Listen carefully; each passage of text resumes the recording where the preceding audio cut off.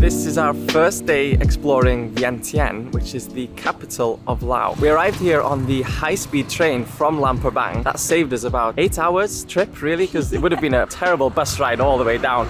But that was a brand new train, super fast, super luxurious as well. The Luang Prabang used to be the royal capital, but now it's Vientiane. And Vientiane used to be called Vientiane before the French changed it. I don't know why they did that. They also changed the name from Lao to Laos as well, confusing everyone. but here we are. Added a cheeky little S. We've been staying at this hotel here called the Urbanite and it's really nice actually. It's one of the best that we could find for the budget and we got upgraded to an absolutely massive room with balcony. But it's a little bit out of town, I think, from looking at Google Maps anyway. But it's really, really close to the first place that we're going to go today, which is one of the main attractions here in Vientiane. And you can see it on the way into Vientiane. It's a huge monument right in the center of the main road. It looks really cool. Yeah. I think you can go up there as well, but there's no crossing. and there's like four lanes of traffic, so now. Are we legging it? Go. Leg it, leg it, leg it. Go, ah! go. okay, made it. This thing right here is. Okay, hold on. Move, move a little bit further. This monument right here is called Patuxay. I'm probably not saying that right. Never know what to say with the X's. Anyway, so it's called Patuxay in Lao, which basically means Victory Gate or Gate of Triumph, and it is dedicated to those who fought for the independence from France. People have already been telling us on our Instagram, which by the way, if you don't follow us on Instagram, make sure to pop over there and follow us there also because we also post loads of stories and fun content there too. Anyway, people have been telling us that you can actually go up it. It doesn't look like there's anyone really here. Yeah. Apparently it opens at 8 and it's now 9.30-ish. So we're here at the right time. We found the other tourists. They're all under the gate because it's super hot today. The sun is already beaming down and there's shade under the gate. The roof of this place is decorated really nicely. Wow, how do we get up then? It says way up there. It's closed. Can you go up? Right? Two year. Oh, What? closed for two years. Oh, whoa. Come on guys, you've been lying to us. You can't go up there. It's been closed for two years. Whoever's giving this information probably was here just over two years ago. So we can't go up it today, but we can see it from below. And I think there is a really nice park just on the side here. So let's stroll this way and see what it looks like from there. Because we're too close to see it. It's always better to look at a landmark from afar than actually in it. Yeah. And I got my glasses. Well, you know I'm going to be able to see it. It does look really cool from here. oh, yeah. And it is really big. Loads of people that we spoke to in Laos said that they were skipping Vientiane, but we skipped Vang Vieng and came straight to Vientiane on the train. Been to Vang Vieng before. Well, I've been to Vang Vieng before. I just didn't want to go back there again because it's too much of a party scene there. But we came to Vientiane with the, the mind that we're going to just explore it. We're not going to stay here forever. Stay for a few days and see what it's like. But there's one other reason that we decided to come to Vientiane. Now, you may have seen in our last video, or two videos ago that we rented a electric vehicle in Luang Prabang. Mikey the macaron. Now we enjoyed renting a car so much we've decided to rent a car here in mm-hmm. Vientiane. Well, we haven't got it yet. We're picking it up tomorrow. Yeah. That then we're going to drive all the way down to the 4,000 Islands, so the south of Laos. And we're mm-hmm. going to do it over a long period of time, so maybe a week. Yeah. So we're going to be stopping along the way as well, seeing all these small towns and villages as well. So for anyone that's saying don't rush through Lao, oh, we're definitely not rushing. We did skip a little bit on the way down here to Vientiane, but on the way down further south, we're going to be doing it justice. But anyway, shall we go and get some breakfast? Yes.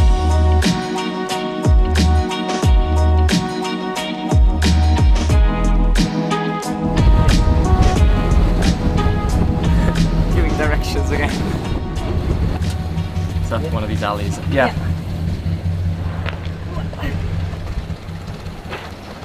Okay. So we're looking for a breakfast place that is down one of these alleys, but not this one. It's here. You never know what this place is going to look like off Google, do you? Looks like we're walking into someone's uh, Garden. back garden, yeah. well, it says it's right here, but it's not here. I think that's it. You think that's it down there? Yeah. This one or this one? They're the same place. Same place? Yeah. The lady from this cafe? Mm-hmm. So that tuk tuk ride was 60,000 kip. Luckily, we still remember, well, luckily Dylan knows all of the numbers in Thai and they pretty much are very similar slash the same here in Laos. So anyway, the reason we haven't got a bike or anything here is there's a lot apparently, according to you guys and according to the internet, there's a lot of motorbike scams going around. So we decided not to get a bike this time around. With the tuk tuk being only 60,000, the bike we had in Luang Prabang was 150,000. So we could literally get another tuk tuk ride for 90,000 and still be in the green. So we'll just do tuk tuks for now, I think, because we, we don't want to be scammed. We heard that people get their scooters rented and then an hour later they've been stolen. So I don't know if that's like an old scam or it's still going, but better not to risk it. Can we please have two Lao coffee with milk, hot, and also a sticky rice pancake with mango and fried banana. Chai. Coffees are quite similar to sort of the roadside coffees that we were getting in Thailand, which I think is just condensed milk and then some powdered milk and sweetener also in there with the coffee, which makes it like thick and sweet. Oh my god. Those look epic. This actually looks epic too. Most of the breakfasts here in Laos seem to be savory. There's a lot of meatball soups, a lot of broths going around in general, but you know us, we love sweet food. So here we have some grilled bananas with coffee. I don't actually know if you're supposed to dip them in the coffee. Probably. Or if the coffee is just like sipped on the side. And then we also have pancake, but it's like a sticky rice pancake with mango inside. I don't know if this is Lao breakfasts or if this is just something that is delicious that they don't tend to really eat here, but it looks really good. All right, let's try this bad boy. I think it's gonna be strong. Oh, not that strong. That's very good coffee. It's very, very good. So I have here some fried, deep fried bananas. Just look at that. Listen to the crisp on this. Come a bit closer. Oh, super soft, obviously. It's banana. Want to dip it? I don't know if you're meant to. Let's see. It looks more like hot chocolate, that kind of coffee. Really thick. That banana is super sweet. Mmm, nice, delicious. Very, very good. Obviously, I'm going to be putting the syrup on.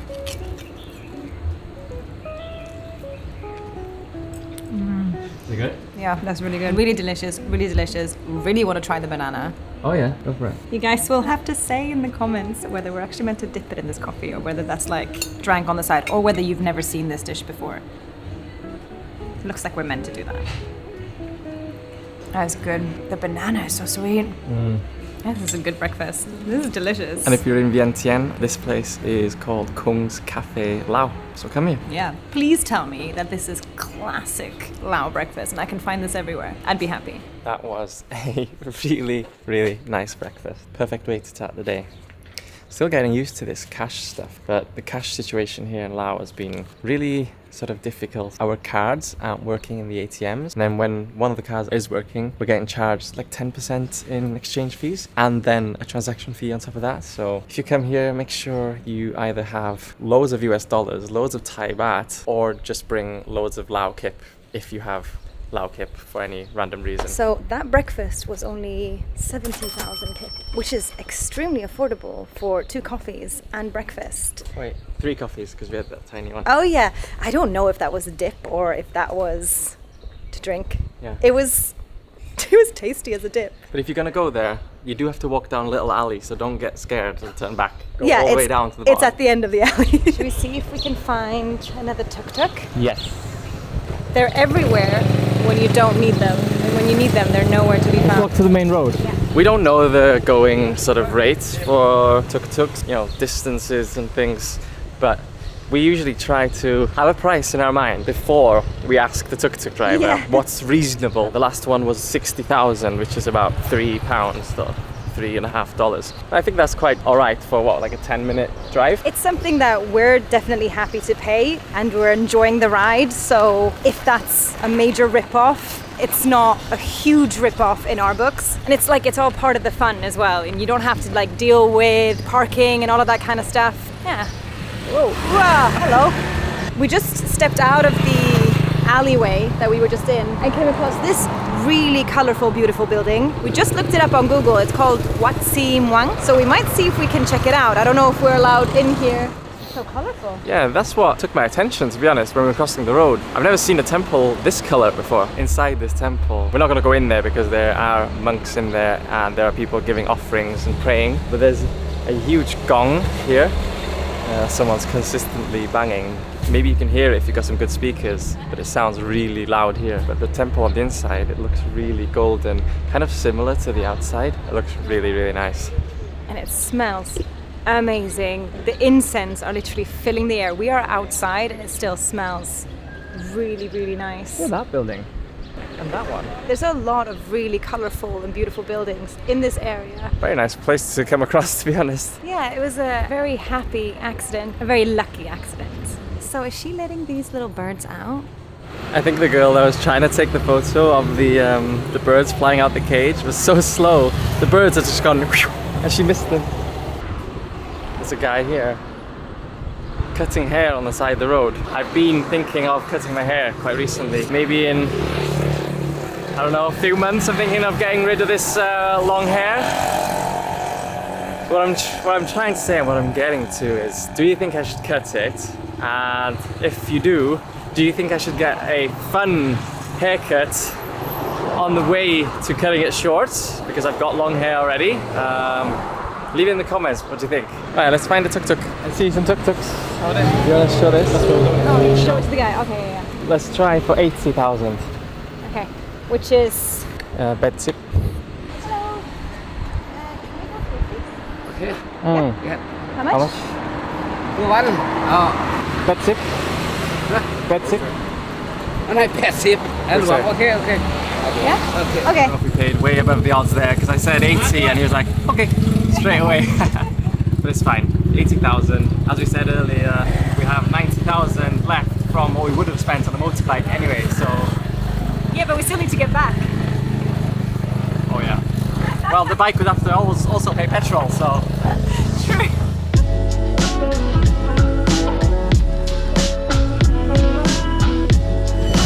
perfect, right to the entrance.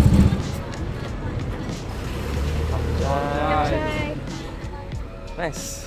80,000. That wasn't even like twice as long the distance of the other trip. So that's good value, I think. Everyone's going to say that, that, that we got totally ripped off. I know, it always happens. But as long as we know that we got a good deal, right? We have fun. And we make that guy happy. So Parked up, literally right next to it. online, everyone gets their information from online these days. But I think it said that this place was built in the third century. Yeah. I, I was amazed by the buildings in Chiang Mai that were built in the 14th century. This is built in the third. It is actually, supposedly, also according to online, covered in real gold. I don't. Is that true? The entrance here. Yes. Shall we? Yes, let's do it. For uh, a Lao national, it is 5,000 kip. For foreigners, 30,000 kip. They're a markup, but if you're local, you probably come here more than once, don't you. It is extra beautiful, the fact that it's such a beautiful sunny day, blue skies. So all you can see when you actually look at the stupa is blue skies and then this golden, reflecting, beautiful ambiance in front of yourself. I don't even know how to formulate this. Somebody just shot off like a firework. Oh. Was it him? So. It was like a pew, like a firework. That's so fun seeing the monks like lighting them and then running away laughing. oh, that's made my day. That is so good. You can let us know what the justification of doing fireworks in a stupa is. That'd be quite interesting. oh. More fireworks. Oh. Oh, oh that Oh, didn't that one didn't pop. Oh.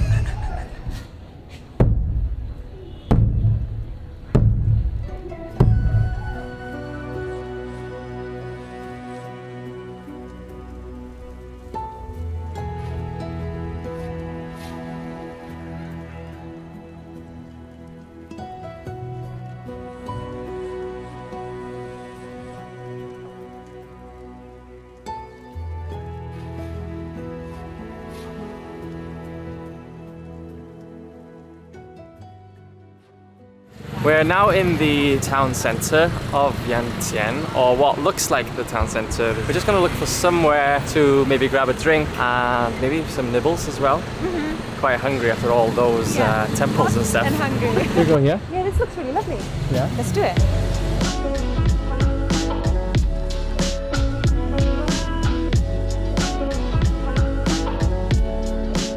Sat in a place called Khop Chai Deu. Uh, I'm not sure what the do part means because I think Kop Chai is thank you in Lao. Anyway, loads of little places scattered along this road. Very nice vibe. They're playing some music. A lot of people sat outside drinking. I've got a nice lemongrass drink. Dylan, of course, has a beer lao. You can't really come here and not have that. Some spiced peanuts, sausages that smell fantastic, that aren't for me, obviously, because I don't eat sausage, and also some chips. Not just any chips. Not just any Salt chips. And pepper, Yeah. chili. chili spiced chips. If it's not spicy, we basically don't want it. We're just gonna drink these now, do some people watching, relax. We've had a really, really nice day. Definitely don't skip Vientiane if you ever do come to Laos. Very beautiful city, probably the capital for a reason. And next time you see us, we've got a vehicle that we're gonna take down towards the south of Laos. But we'll tell you all about that in the next video.